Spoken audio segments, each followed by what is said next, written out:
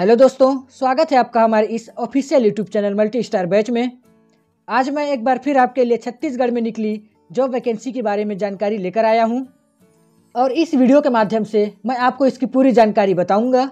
उससे पहले, अगर अभी तक आपने हमारे इस यूट्यूब चैनल को सब्सक्राइब नहीं किया है तो प्लीज़ हमारे इस यूट्यूब चैनल को सब्सक्राइब कर लें, जिससे नई नई जॉब की जानकारी आप तक जल्दी से पहुँच सके। तो चलिए स्टार्ट करते हैं। तो यहाँ छत्तीसगढ़ बस्तर फाइटर भर्ती के लिए एक नोटिफिकेशन जारी किया गया है। उसी के बारे में मैं आपको इसकी पूरी जानकारी बताऊँगा। तो चलिए देखते हैं इसकी पूरी जानकारी।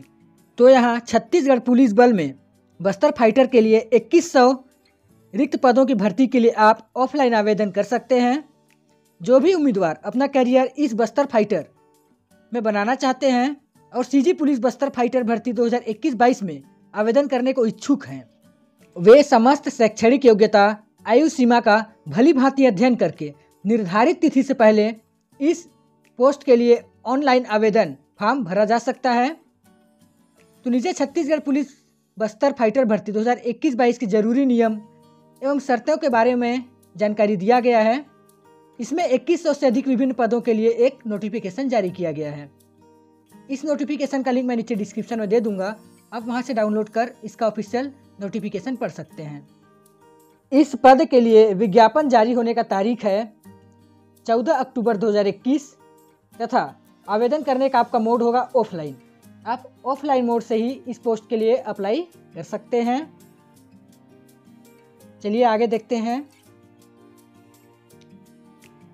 अब देख लेते हैं कि इनके पदों का विवरण। तो इस पद का नाम है, भर्ती विभाग का नाम, छत्तीसगढ़ पुलिस बल भर्ती पद का नाम है बस्तर फाइटर भर्ती। कुल पदों की संख्या है 2100 आवेदन का मोड होगा ऑफलाइन। नौकरी की श्रेणी होगी नियमित भर्ती, यानी कि रेगुलर भर्ती होगा। नौकरी का स्थान होगा बस्तर, कांकेर, सुकमा, नारायणपुर, दंतेवाड़ा, कोंडागांव। इसका ऑफिशियल साइट है Bastar dot G O V dot in. अब देख लेते हैं कि बस्तर फाइटर के लिए निम्न पदों की कहाँ कहाँ भर्ती, कितनी कितनी सीटें हैं। तो कांकेर जिला में अनुसूचित जाति, या बोले तो एसएससी के लिए 12 पद, एसटी के लिए एक सौ ओबीसी के लिए 42 तथा जनरल के लिए 18 यानी कांकेर जिला में कुल 300 पदों पर भर्तियाँ निकाली गई है। आप इसका आवेदन पत्र कार्यालय पुलिस अधीक्षक कांकेर में जमा कर सकते हैं। अब अगला देखते हैं कोंडागांव जिला में। तो यहाँ एस के लिए है 12 पोस्ट एसटी के लिए है 210 पोस्ट, ओबीसी 42 पोस्ट तथा जनरल के लिए है 36 पर पोस्ट। कुल 300 पदों पर भर्तियाँ निकाली गई है कोंडागांव जिला के लिए और यहाँ आप आवेदन पत्र, कार्यालय, पुलिस अधीक्षक कोंडागांव में जमा करना होगा। अब देखते हैं बस्तर जिला के लिए। तो यहाँ एस के लिए छः पद, एसटी के लिए एक सौ नवासी पोस्ट, ओबीसी के लिए बया, बयालीस पोस्ट, जनरल के लिए है तिरसठ पोस्ट तथा कुल 300 पदों पर यहाँ भी भर्ती निकाली गई है। और इसका आवेदन पत्र आप कार्यालय, पुलिस, अधीक्षक, बस्तर, जगदलपुर में आपको जमा करना होगा। अब देखते हैं दंतेवाड़ा जिला के लिए। तो यहाँ भी एससी के लिए है 12 पोस्ट, एसटी के लिए है 228 पोस्ट, ओबीसी के लिए है बयालीस पोस्ट, तथा जनरल के लिए है 18 पोस्ट। यहाँ भी कुल 300 पदों पर भर्तियाँ निकाली गई है, दंतेवाड़ा जिला के लिए। और यहाँ आवेदन पत्र आप कार्यालय पुलिस अधीक्षक दंतेवाड़ा में आपको जमा करना होगा। अगला देखते हैं, बीजापुर जिला के लिए कितनी पद निकाली गई है? तो यहाँ एस के लिए है 18 पोस्ट, एसटी के लिए है 225 पोस्ट, ओबीसी के लिए है 42 पोस्ट जनरल के लिए है 15 पद। यहाँ भी कुल 300 पदों पर भर्तियाँ निकाली गई है। अब इसका आवेदन पत्र आप कार्यालय पुलिस अधीक्षक बीजापुर में आपको जमा करना होगा। अगला देखते हैं सुकमा जिला के लिए। तो यहाँ एससी के लिए है छः पद एसटी के लिए है दो सौ बावन पोस्ट ओबीसी के लिए 21 पोस्ट, जनरल के लिए 21 पोस्ट। कुल यहाँ भी 300 पदों पर भर्तियाँ निकाली गई है। तथा इसका आवेदन पत्र आप कार्यालय पुलिस अधीक्षक सुकमा में जमा करना होगा। अगला देखते हैं नारायणपुर जिला के लिए।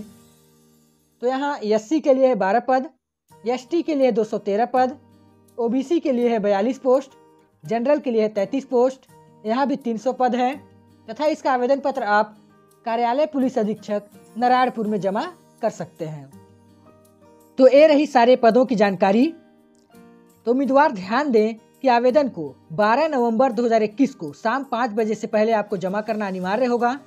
और यदि कोई पोस्ट के माध्यम से आवेदन जमा किया है तो उन्हें रसीद लाना अनिवार्य होगा। इसकी अधिक जानकारी के लिए आप इसकी विभागीय अधिसूचना को ज़रूर पढ़ें। अब देख लेते हैं कि इस पोस्ट के लिए क्या शैक्षणिक योग्यता या क्या क्वालिफिकेशन चाहिए। तो इसके लिए किसी मान्यता प्राप्त बोर्ड या विश्वविद्यालय से पाँचवीं तथा दसवीं की परीक्षा आपको उत्तीर्ण करना होगा। अब देख लेते हैं कि इसके लिए कितनी आयु सीमा मांगी गई है। तो इसमें सीमा की गणना एक जनवरी 2021 की स्थिति में करना होगा। इसमें आवेदक की न्यूनतम आयु 18 वर्ष तथा अधिकतम आयु 28 वर्ष से ज़्यादा नहीं होनी चाहिए। इसमें एसटी तथा एससी और ओबीसी को आयु में छूट दिया गया है। इसके लिए आप इसका ऑफिशियल नोटिस पढ़ सकते हैं, जिसका लिंक मैंने नीचे डिस्क्रिप्शन में दे रखा है। आप इसकी महत्वपूर्ण तिथियों के बारे में जान लें। तो पोस्ट जारी होने की तिथि है 14 अक्टूबर 2021 आवेदक की प्रारंभिक तिथि है। 19 अक्टूबर 2021 से चालू हो चुका है तथा अंतिम तिथि है 12 नवंबर 2021 शाम पाँच बजे तक। आप इस पोस्ट के लिए ऑफलाइन या पंजीकृत डाक के माध्यम से अप्लाई कर सकते हैं। और इसका सीबीटी एग्ज़ाम टेस्ट होगा, जिसकी सूचना आपको दी जाएगी। अब इस पोस्ट के लिए क्या महत्वपूर्ण दस्तावेज़ लगेंगी? इसमें पहला नंबर है आपका आधार कार्ड लगेगा। आपका रंगीन पासपोर्ट साइज़ फोटोग्राफ लगेगा, आपका मोबाइल नंबर ईमेल आईडी तथा दसवीं और बारहवीं का अंक सूची आपका जन्म तिथि सत्यापन के लिए लगेगा। आपका जाति प्रमाण पत्र, मूल निवास प्रमाण पत्र तथा मेडिकल सर्टिफिकेट और यदि आपके पास अनुभव प्रमाण पत्र हो तो भी आप दे सकते हैं। इसके आवेदन शुल्क के बारे में जान लेते हैं तो आपको इस पोस्ट के लिए किसी भी प्रकार का आवेदन शुल्क नहीं देना होगा। यह बिल्कुल निःशुल्क है। अगला देखते हैं कि आप इस पोस्ट के लिए कैसे अप्लाई कर सकते हैं। तो सबसे पहले आपको इसके official website Bastar dot G O V dot in में जाना है। इसके बाद इसमें नोटिस या रिक्रूटमेंट में जाना है। इसमें आपको विभागीय अधिसूचना CG police Bastar fighter job दिख जाएगा। वहाँ से आपको डाउनलोड करके इसका अध्ययन करना है। आपके सामने सीजी बस्तर फाइटर वैकेंसी भर्ती आवेदन फॉर्म खुल जाएगा और इस फॉर्म को आपको डाउनलोड कर लेना है। डाउनलोड कर, आपको उसको प्रिंट कर, उस फॉर्म को भर कर आपको जमा करना है।